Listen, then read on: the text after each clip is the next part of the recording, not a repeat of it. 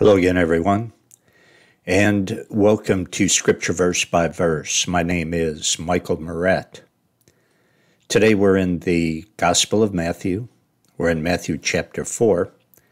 We resume our study in verse 9. We're right in the middle of looking at the temptation of Jesus Christ. He had been fasting for 40 days and 40 nights, and he was out in the wilderness by himself, and the devil came and tempted him, hit him in his weak spots. But Jesus prevails, as we see. Get your Bible, open it up to Matthew chapter 4. The scripture verse by verse website is where you can study the entire Bible with me, all the way from Genesis through Revelation, almost four complete series, three complete. And all you have to do is choose the series, choose the book of the Bible, the section, click and listen, and you're set to go. Bring a hunger for God's Word and your Bible to the BibleVerseByVerse.com and study the Word of God with me, the whole counsel of God, which is the way God wants us to study. And Father, we pray that you would sanctify us by your truth. Your word is truth. In Jesus' name, amen. So, Jesus, as I said, has been tempted. He's tempted with three separate temptations by Satan in the wilderness. Let's pick it up in verse 8, which is where we left off. Again, the devil taketh him up into an exceedingly high mountain and showeth him all the kingdoms of the world and the glory of them, and saith unto him, All these things will I give thee, if thou wilt fall down and worship me. The devil said, Satan or Jesus, I'll give you all these kingdoms. I'll give you I'll give you the world. All you have to do is worship me. The devil is the ruler of this present age. That's what the Bible says. Yes, it is true that Scripture teaches that this world is the Lord's and all the fullness thereon. But the Bible also says that Satan is the ruler of this present age, meaning this he has influence over all the people in this world, except for those who are saved by receiving Christ as Lord and Savior and led by God's Spirit. Other than that, he influences every other person in this world. Success in this world doesn't necessarily indicate that a person is godly. God could be blessing someone's faithfulness, that's true. But it could be that that person is playing by the devil's rules. And that's a good way to get ahead temporarily in this world manipulating, lying, flattery, stealing,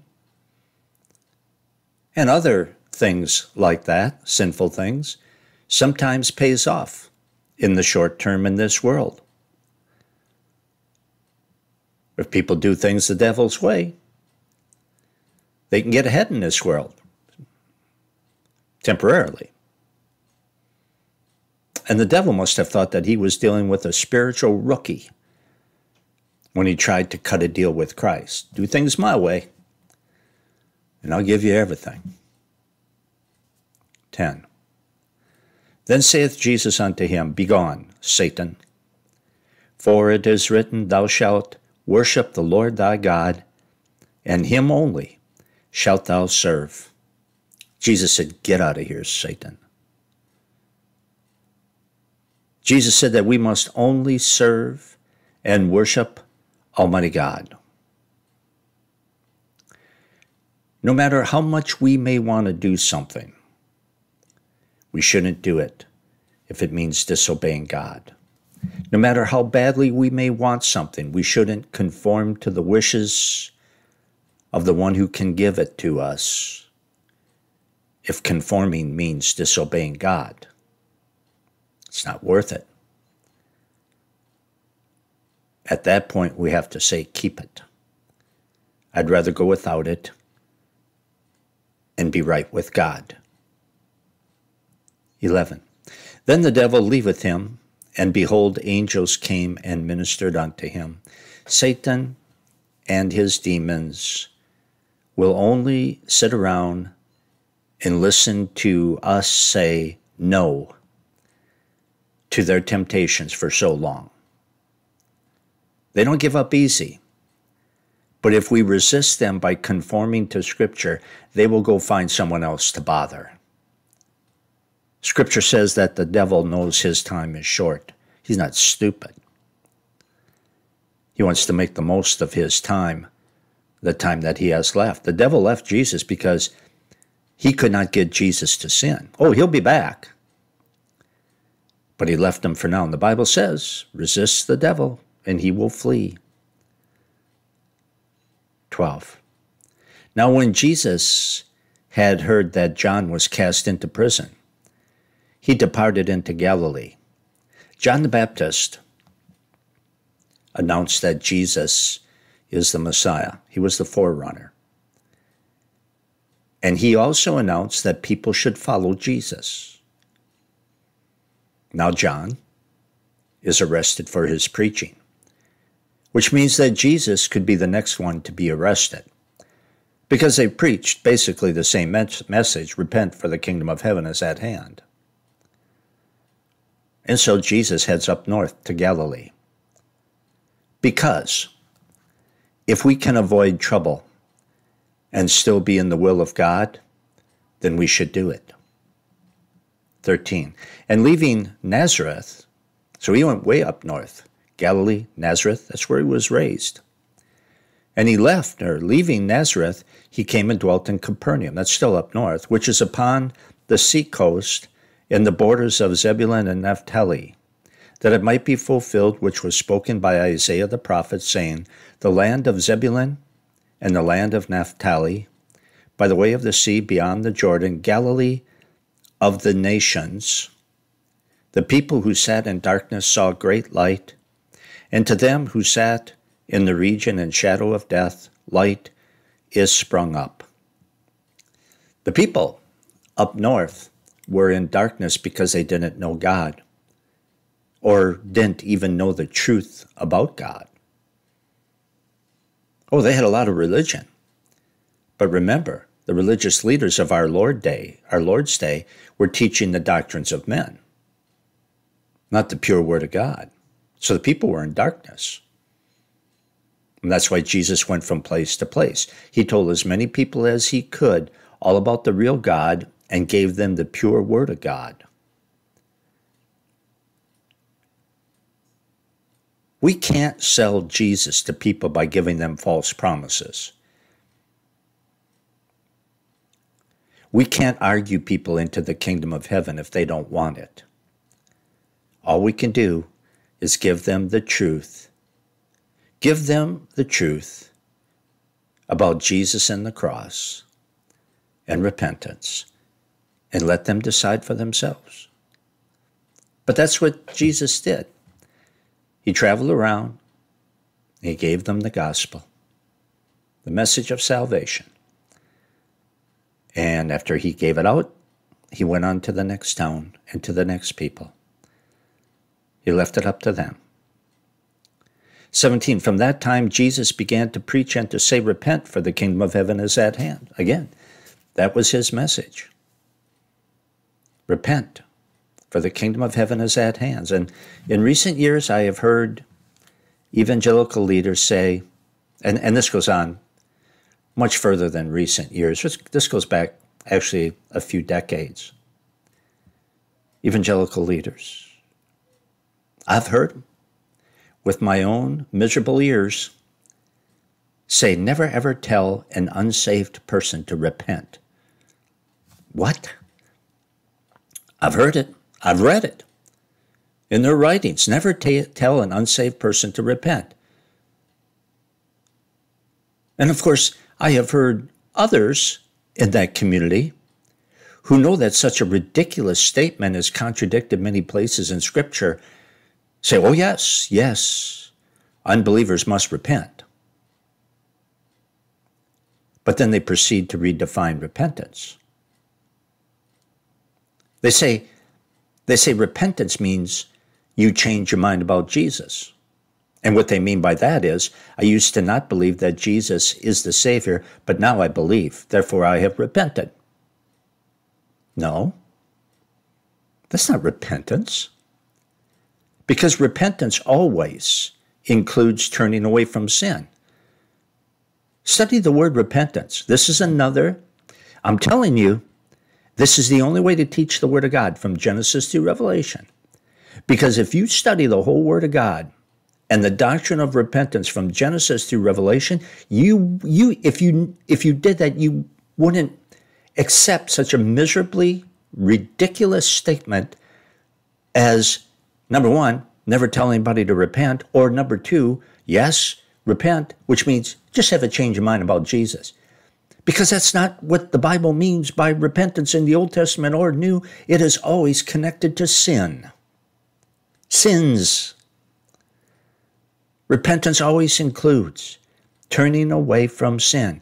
Jesus' message was repent of your sins. Well, I'll tell you what, people have a lot of nerve preaching a different message than Jesus did and still calling it Christian and still calling it Bible teaching.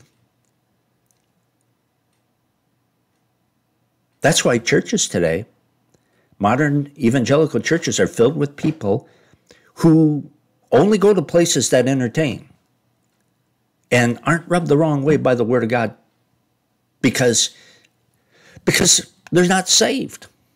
There's no hunger for the pure Word of God. There's no hunger for pure worship just to have their senses tickled and their so called worship music.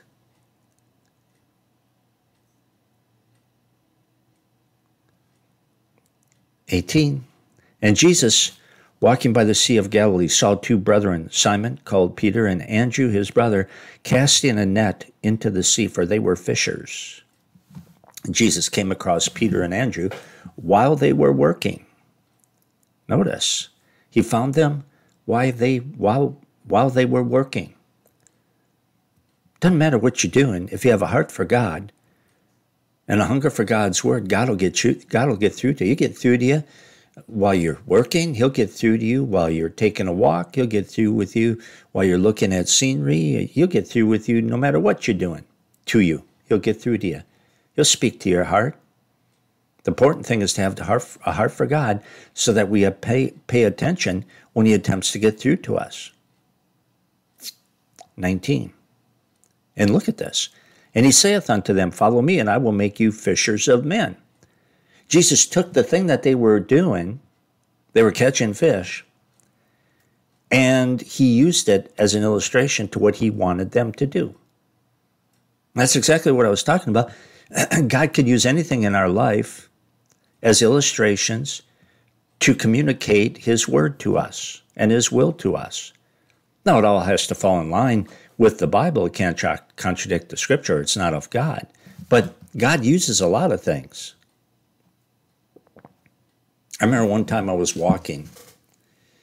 Um, I was walking across this field, and there was, you know, nobody ever walked on it because it was just a big old empty field.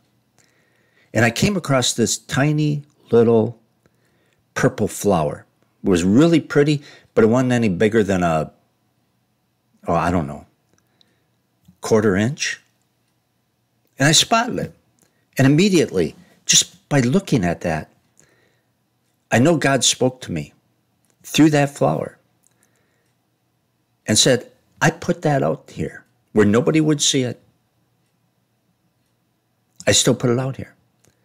I put it out here for you to see, for one person to see. And I'm confident nobody else ever saw that thing before it lived out its short existence because of where it was. But it blessed me because it was pretty. And then the message that God sent through that little flower was I put that out here for you. Nobody else will see that. But I still made it for you to see. And it hit me. It doesn't matter how many people listen to me teach the Word of God. If only one person tunes in to scripture verse by verse, if only one person is drawn closer to Jesus Christ through scripture verse by verse, it's worth it. I'm out of time, over time. Continue studying with me at the Bible verse by verse.com. Until next time, remember you can be a part of this ministry. Pray for me, pray for God's word. Click the donate button at the top of the front page at the Bible verse by verse.com and prayerfully give as the Lord may lead. See you next time.